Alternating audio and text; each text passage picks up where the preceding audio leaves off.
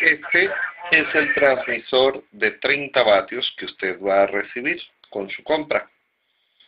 ¿Ok?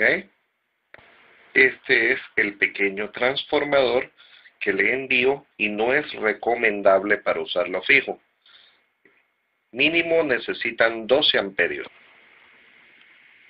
Este es el tipo de conector antena N.